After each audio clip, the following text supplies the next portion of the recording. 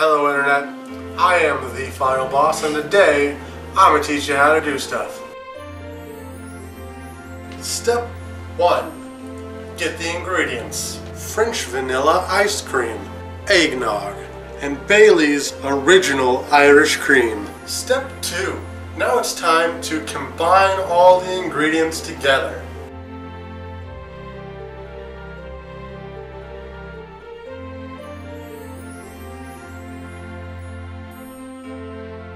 Step 3. You guessed it guys, it's time to blend that shit. Now you have completed your drink, but there's one final touch you can add to it.